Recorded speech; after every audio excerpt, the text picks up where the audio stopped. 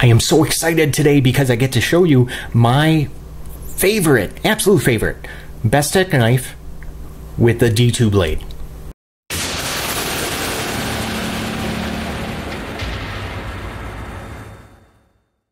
How you doing? I'm Jay, and if you're looking for knife reviews that get right to the point, go ahead and click subscribe. This is the Bestech Bison. It was sent over to me by my friends over at White Mountain Knives. I highly suggest you check them out and make sure you enter in my coupon code Lefty Love. That will get you 10% off of your entire order. You should be looking at some specs right about now. Don't worry, I'll have them listed down in the description below just in case if any of you would like to uh, follow along throughout this video. First, let's take care of some size comparisons. Let's compare this up against uh, a couple other Bestech knives, this one being the Paladin and the Warwolf. Here is a, a knife that was actually once one of my favorites, the Lion. Here's another knife in uh, D2 steel. This is the Ganzo Firebird FH21. We'll wrap up this section with the Spyderco Para 2. For those of you that are running really short on time, uh, let me just go ahead and say this. I like just about everything about the Bison except for one thing, and it's actually, it's kind of a big deal. So to find out what that is, just stick around, keep watching. If you're not absolutely in love with this specific uh, version, it actually comes in a couple different uh, G10 colors. There's even one in uh, half carbon fiber, the other half titanium, and with a regular stonewash blade. Starting with the blade, and we're looking at it's a D2 steel that's flat ground with a really nice black wash finish. I always appreciate it because it's going to help to hide uh, wear and tear from everyday use. And notice, yes, the pocket clip and this side of the handle, this scale, is also, they all feature the exact same finish on it. Now, the forward choil, which, yes, I do love it. However, check out the size. Yeah, that is, it's, it's a bit excessive. Now, I do understand why they had to make it this big because if they did not, you would probably be able to touch that sharpened edge when in the closed position.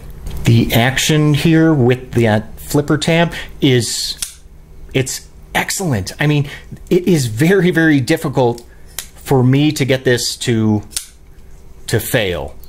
And to be honest, I did I had a feeling that the action would be really good with the Bison because notice where notice how that flipper tab is is well above the the pivot. Now, unfortunately, that lock bar, so especially for lefties, if you rest your finger or thumb on that lock bar, it you will not be able to deploy the blade. As soon as you remove it though, it's fine. It's not a huge deal because at least look at that. I mean, there's plenty of room to rest your fingers.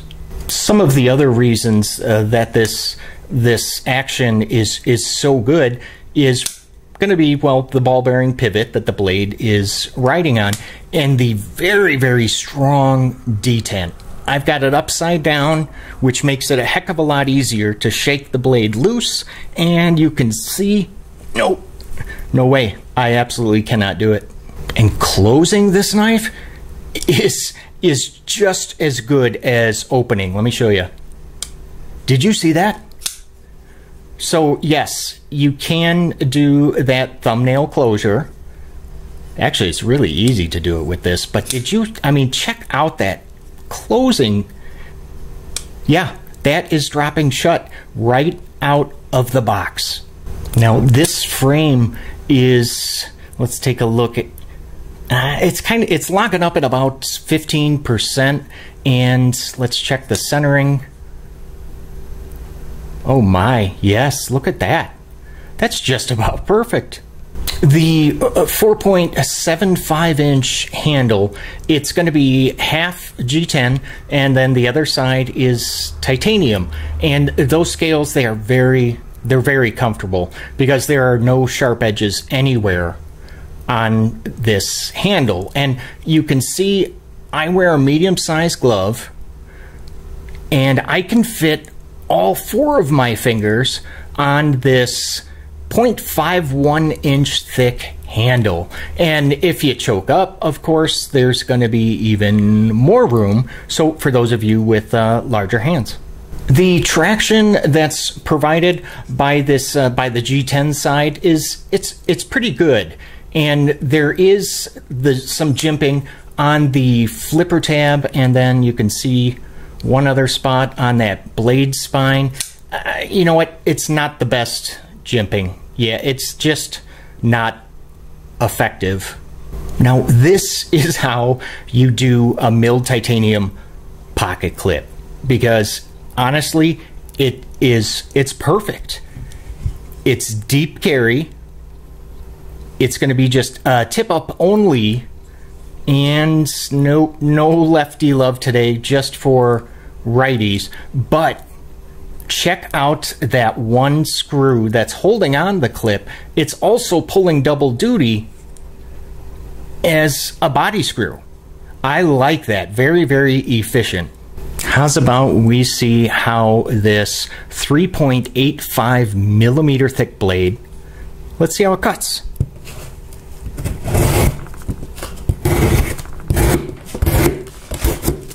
Oh yeah, well you saw me just power through that cardboard. Holy cow. Let's check the finish.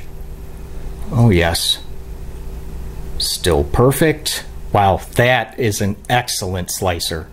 Before I go ahead and toss this up on the scale, I just want to show you that for the most part, I mean, it's partially open construction with that uh, backspacer, which is in fact titanium as well. Very surprised by that. And if we look, hopefully you can see this, we look on the inside and there is some skeletonization going on just on the titanium side. They milled out a couple pockets in an effort to reduce the weight. Let's see how they did. Wow, they did fantastic. 4.2 ounces, which is going to be roughly the equivalent of one, two, three, four, five, about five AA batteries, or almost, wow, almost the exact same weight as another Bestech knife, the Paladin, which I have previously reviewed. So at the end of this video, if you look up to the corner, yep, right there, you can click on the icon and you can watch my full review. Before we get to my potential deal breakers, I do have just a, a question for you. All I'd like to know is what is your absolute favorite Bestech knife in the D2 blade steel? Let me know down in the comment section below. So I have three potential deal breakers and one nitpick. And let's start with the nitpick. And really, it's just regarding the the hardware. God, imagine what this would look like if they used black hardware instead. Oh, number two is regarding the pocket clip and the fact that it is only for righties, no lefty love. And number three is regarding the grip because if you're not choking up, you're not utilizing that forward choil, your hand, if you notice, is is kind of far back from the blade. So it's like you almost have to use the forward choil. And the last potential deal breaker is the price, which we're going to get to in just a second.